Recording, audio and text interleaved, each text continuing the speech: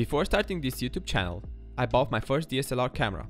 After I filmed the first episode, I tackled a bit with the picture mode, shooting all pictures in RAW mode. While I was learning how to take sharp photos and create good composition, I wondered what is actually inside the RAW file, why it's considered the best solution when it comes to producing high quality images. Do you ever wonder how a DSLR camera can do this? I did some research about this topic. It turns out the process is a bit complicated, so fasten your seatbelts because this video will contain a lot of information to digest. What is the RAW format in digital photography? Well, let's see what Wikipedia tells us. A camera RAW image file contains minimally processed data from the image sensor of either a digital camera, motion picture film scanner or other image scanner. Inside my digital SLR, I have an image sensor whose primary job is to capture as much light as it can in order to produce the final output image. RAW files are named so because they are not yet processed and therefore are not ready to be printed or edited with a bitmap graphics editor. Normally the image is processed by a RAW converter in a wide gamut internal color space where precise adjustments can be made before conversion to a positive file format such as TIFF or JPEG for storage, printing or further manipulation. So it seems that RAW files are considered the equivalent of film negative. I've heard about JPEGs files but what are TIFFs? Well I will explain this a bit later in the video. The definition continues with this often encodes the image in a device-dependent color space. There are dozens, if not hundreds of RAW formats in use by different models of digital equipment, like cameras or film scanners. My camera is made by Canon, so this means that I should look at these three main formats, CRW, CR2, CR3. Let's try and take a picture in RAW mode and see what the camera gives us. I took a picture of my Chinese Arduino Uno. It looks like a standard image. The immediate difference is that it has the CR2 extension. The CR2 stands for Camera Raw 2.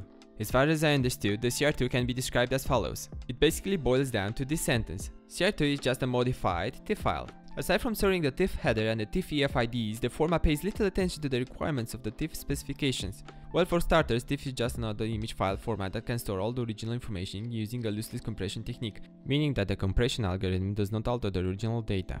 This means that you have one-to-one -one relation, before and after compression. As a side note, JPEG stores all colors as RGB and TIFF stores them using the CMYK color space. Historically, TIFF was used more for press. We can conclude that the CR2 file format contains a small piece of TIFF with other custom camera raw fields that Canon added on top. Let's then inspect the file using the hex dump utility. The result is approximately 28 megs of data. That's quite large for a single image file. Let's dump the first 5000 bytes. Well, it does not look like this is readable from a human perspective. Let's try using strings. We can see that there are certain key strings that are familiar to us like Canon ATD or, or some XML-like format structure which is actually an XMP. Not surprisingly that Canon stores a lot of metadata information in the file. Let's see if we can find some more information about the file because I'm not gonna reverse engineer every bit, not because I wouldn't, but because it will take a lot of time figuring it by myself. We can use the EXIF tool to print out all the metadata tags key value pairs of the CR2 image. Wow, I'm impressed! There's a lot of information that the camera stores per photo. The nice thing is that you can use EXIF tool to add yourself extra metadata information to the file or to extract the thumbnail of the image. Let's further search Google, maybe we can find something useful to let us have a more deep insight about this.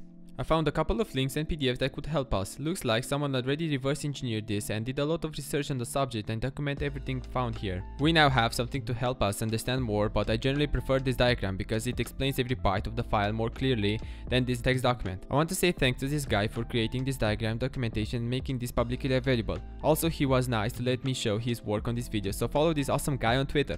Let's deep dive into the format. To do this I wrote a simple C command line program that parses the TIFF, CR2 header and all the four IDs.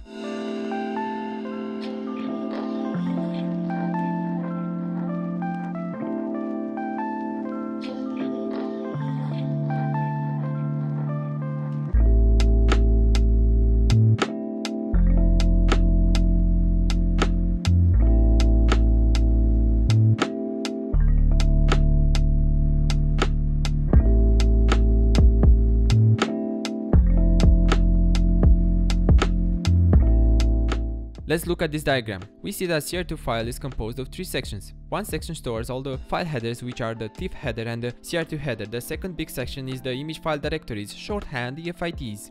We have four of them in total. Every one of them contains information alongside with the starting address of the next one, much like a linked list. We have the images data where we can see that the CR2 is composed of 4 images of the original image in different sizes. At the start of the file, the first 8 bytes contains the TIFF header which this is composed by 3 fields. The endiness which can be MM that stands for the Big Endian or II which means Little Endian, I Intel, M Motorola. Then we have a magical number which is 2 byte long and a 4 byte value, which holds the value offset to the first information file directory.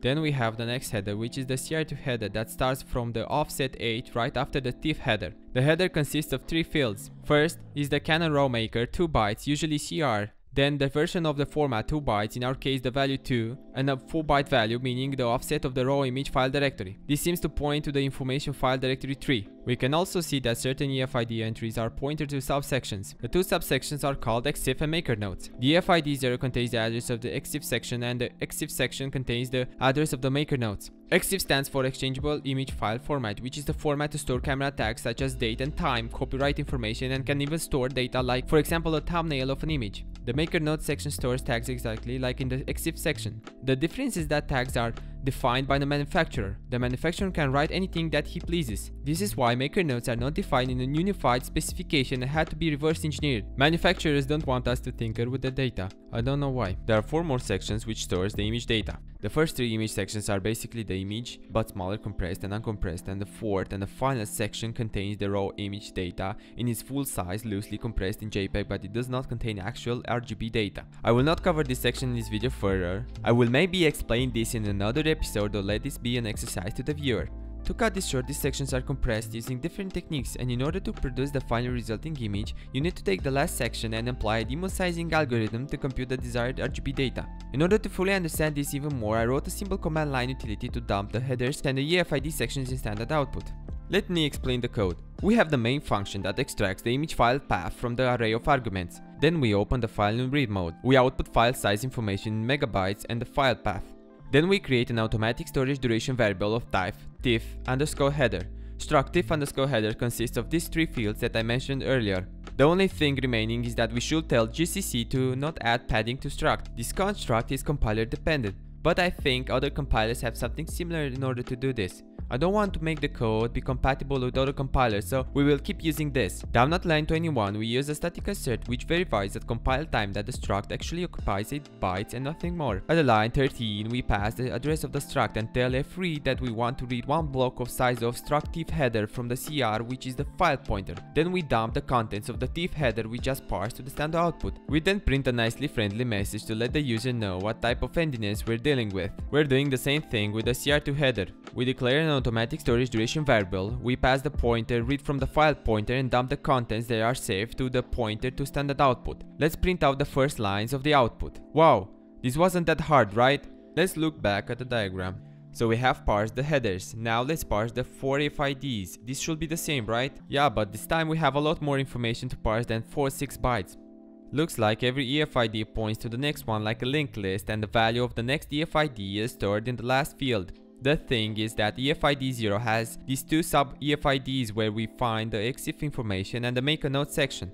Because we have 4 IFDs, let's declare an array of 4 structs IFDs.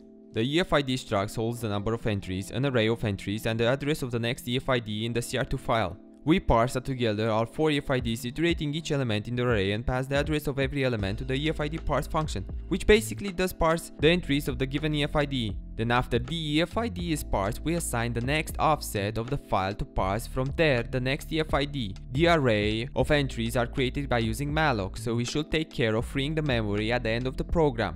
Then like what we did with the two headers, we dump the information to standard output. The tricky thing is that it's not that simple now to dump the information to standard output because every entry can hold variable type data. Let's look how I define an entry. An entry consists of the tag ID, Every entry has a sign, an ID which identifies what kind of tag we're dealing with. A couple of examples tags are defined like this. The tag type which stores the type of data we're dealing with. I define here an enum holding all possible tag types that can occur in the file alongside with helpful functions. Then we have the number of value, which is an interesting field because as far as I understand, here should be stored how many items of the preceding type we have at the starting address stored in the next field called value. If the number of value is 1, then this means that the value is not an address, but the actual value which cannot be more than 32 bits. This information is crucial because without this, we cannot interpret the following data found in each IFD entry correctly and write to standard out. So without further ado, when we dump every entry, we make sure to call the conversion function which converts the data stored at the address value in a human readable format. I declared an array of tag type tables struct to help me pick the right conversion functions for the appropriate tag type we're dealing with. So if we look closely, we pass the t in the function tag type conf that by indexing it, it will give us a function pointer which then we can use to call it by passing the file pointer, the address slash value and the count. Every function does this exact thing of picking at the address given in the file and interpret the bytes given the tag type. Because I'm lazy and I do not want to copy and paste all the code and switch types and formats, I instead created a compile time macro to generate all my functions for every type. We have two of these because there are certain types which use a slightly more complicated memory layout format and we cannot use the same conversion macro above. This happens when we are dealing with rational data. Rational data can be signed and unsigned and I declared here two structs for these types. When this is compiled, we have all the functions generated and we pass every one of these as the third parameter in our static table array. Now we have all the unmarshalling process down. We can generate every byte payload to be printed, alongside with other fields of an entry at line 55. If we compile and run, we have a lot of data. Look for example at the IFD0, we have our canon string found in the strings command output. And of course this is a string with an ending 0. It looks like we're doing what EXIFTool is doing but more low level and verbose. To conclude this, we achieve a more deeper understanding of the CR2 format. We know that the canon stores a lot of interesting metadata information that we can use in our programs to filter out or to further analyze an image in what scenarios were done and when the photo was taken and so forth. We now know that the CR2 file stores three different images of different sizes beside the thumbnail and the full image is not stored directly as an RGB image. The CR2 file is inspired by the TIFF format but does not give a damn about it, introducing its own specific ins and outs that the manufacturer wants. JPEG uses a lossy form of compression so meaning that an amount of bytes of the original image is lost and cannot be restored due to compression. On the other hand, the RAW files capture all the information from the sensor and does not alter it. Given an advanced demosaicing technique, we can create our own JPEGs that can save certain features of the image we're interested to display. From the start, JPEG looks like it's not a flexible flat file because we lose further information by editing it, so we are quickly left with a degrading image.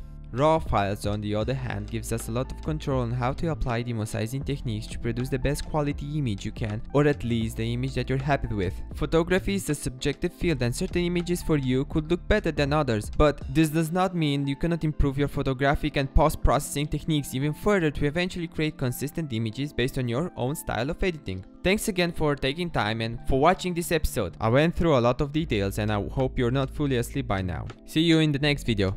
Bye.